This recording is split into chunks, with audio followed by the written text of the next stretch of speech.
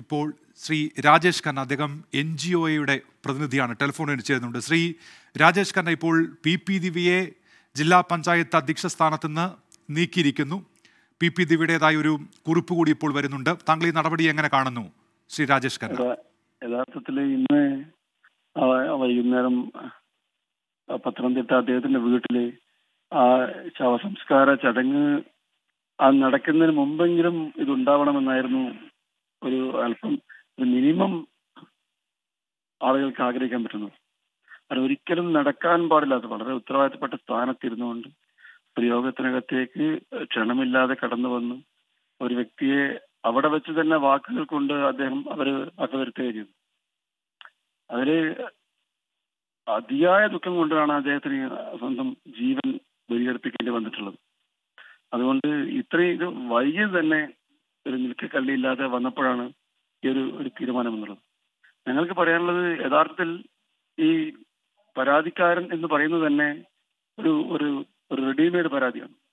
അതേക്കുറിച്ചൊക്കെ കൃത്യമായി അന്വേഷണം നടത്തി യഥാർത്ഥ വസ്തുത ഇതിനകത്ത് പുറത്തു കൊണ്ടുവരണം അദ്ദേഹം നിരപരാധിയാണ് എന്ന് എല്ലാവർക്കും ബോധ്യമില്ല. ഇപ്പൊ ഞങ്ങളൊക്കെ അവിടെ ജോലി ചെയ്യുന്ന ആളുകളാണ്.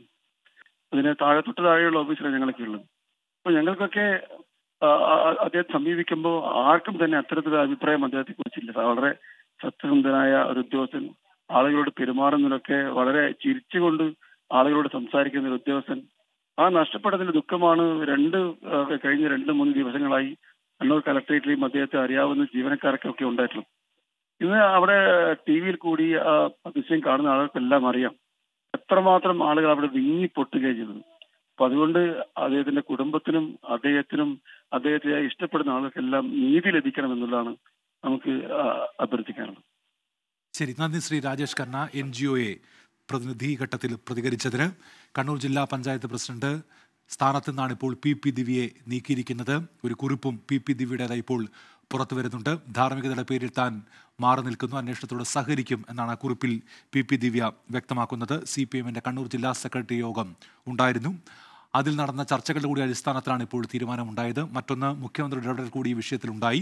ഇത്തരത്തിൽ അധ്യക്ഷ സ്ഥാനത്ത് തുടരാൻ പാടില്ല. പി പി ദിവ്യ എന്ന നിലപാടിലേക്ക് മുഖ്യമന്ത്രി കൂടി എത്തിച്ചേർന്നു. അതിന്റെ അടിസ്ഥാനത്തിൽ കൂടിയുള്ള നടപടി എന്നാണ് മനസ്സിലാകുന്നത്. സജോ ദേവസി വിവരങ്ങളുമായി ചേരുന്നുണ്ട്. സജോ ഇപ്പോൾ ആ വാർത്താക്കുറിപ്പ് നമ്മൾ നോക്കുമ്പോഴും അതിൽ ഈ അഴിമതിക്കെതിരെ സതുദ്ദേശത്തോടെയുള്ളൊരു നിലപാടെടുത്തു എന്ന് സി പി ഐ എം ആദ്യഘട്ടത്തിൽ പ്രതികരിച്ച വാചകം എന്താണോ അത് അതേപടി ഈ പി പി ദിവ്യയുടെ കുറിപ്പിൽ കൂടി ഇടം നേടുന്നുണ്ട്. അതുകൊണ്ടാണ് ഈ കണ്ണൂർ ജില്ലാ ഘടകത്തിന്റെ നിലപാട് സംശയത്തിലാകുന്നത്. സജോ. ഉന്മേഷ് ഏതായാലും ദിവ്യയുടെ നിലപാട് പാർട്ടി ഈ ഘട്ടത്തിൽ അംഗീകരിക്കുന്നില്ല. തുടക്കത്തിൽ ആ വാദത്തിനൊപ്പം നിൽക്കാൻ പാർട്ടി ശ്രമിച്ചെങ്കിലും അത് പാർട്ടിയെ ഗുരുതരമായ പ്രതിസന്ധിയിലേക്കും എത്തും എന്ന് എത്തിക്കും എന്ന് നേതാക്കൾ നേരത്തെ തന്നെ തിരിച്ചറിഞ്ഞതാണ്. അതിന്റെ അടിസ്ഥാനത്തിൽ ദിവ്യയുടെ വാദം ഏതായാലും പാർട്ടി അംഗീകരിക്കുന്നില്ല. എന്ന് മാത്രമല്ല ഇതിൽ നമ്മൾ ശ്രദ്ധിക്കേണ്ട ഒരു കാര്യം ഭാരതീയ ന്യായ സംഹിത വകുപ്പ് നൂറ്റിയെട്ട് പ്രകാരം ഇതിനകം Kannur town police Taliparamba sub division